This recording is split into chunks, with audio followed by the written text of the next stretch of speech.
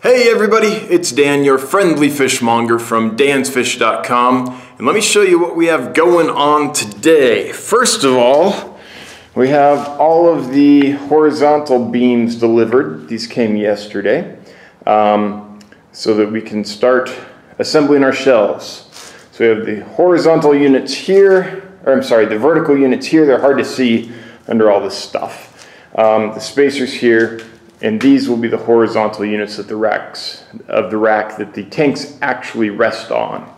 Um, when this dried, when I poured the cement patch into the drain, it's, it's just a little high. So to really make that finalized, I've got to grind it down. So I've got my grinder here with the diamond bit.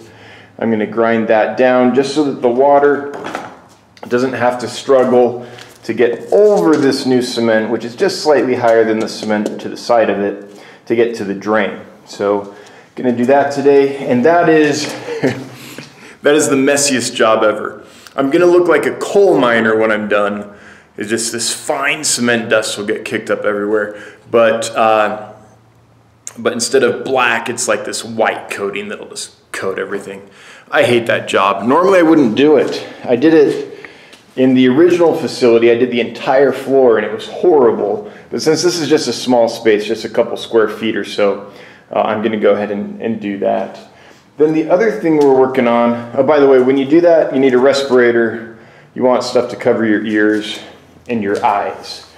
Then the other thing I'm doing is this is our tankless water heater.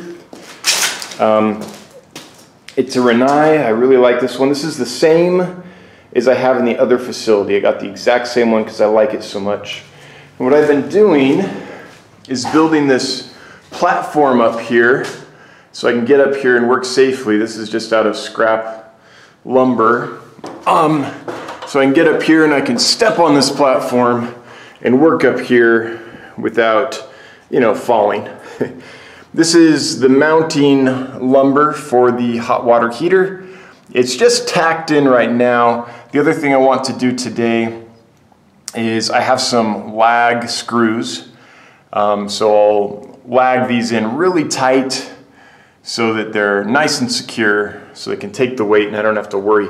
It's a gas appliance, you know, I don't want it falling, I don't want fires or anything. So I'm gonna lag those in and then uh, I have the hanging hardware to attach here and here to get that water heater up there and finalized. But I had to build this first just because, and screw it all down, make it nice and secure, just because I didn't want to be trying to balance on, on these beams um, like I'm in Cirque du Soleil or something.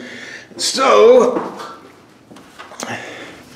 I am now going to take this camera and get it out of here because I don't want all that fine concrete dust I'm about to stir up to to get in the camera and ruin everything. So I'm gonna turn this off and get to work. Oh, I should show you this too. This is the HRV. Um, it's a Fantech and there's so much on it that I'll open it another time and show you, I guess. All right, I'm getting to it. All right, I think the dust has settled enough. I don't know if you can see it on screen here, but uh, to come in and kind of show you. So here's what I did. Just ground all that down. Here's just the finest dust you'll ever see in your life. You don't want to breathe that stuff. But, all right, that part's done. Now I got to sweep up.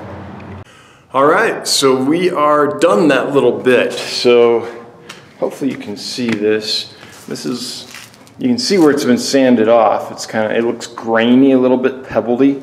And now it goes from here and slopes down slightly to the drain, ever so slightly instead of being up above where the water would have to go here and it'd get caught on the lip before it got to the drain. So that's why that was important. Also, we have our water heater hung. Um, it's not completely plumbed in yet, but it's hung and ready. The reason it's not plumbed in yet is I want to wait until the furnace is installed before I cut the hole above that for the vent because I don't want um, frozen water in there basically. I don't want to get want water to get in there and freeze and burst the unit.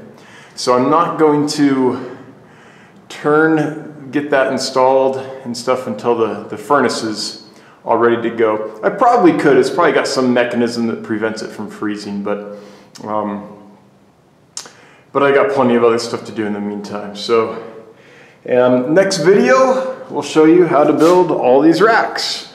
So racks are coming along. Happy about that. But that, as they say, is another video. So, hope you have a good one. If you like this stuff, if you consider subscribing, liking, sharing, hitting notification bells, all that jazz, it'd be greatly appreciated. Uh, if you want to buy some fish, we've got some stuff at dansfish.com for you to check out. And until next time, hope you have a good one. Bye-bye.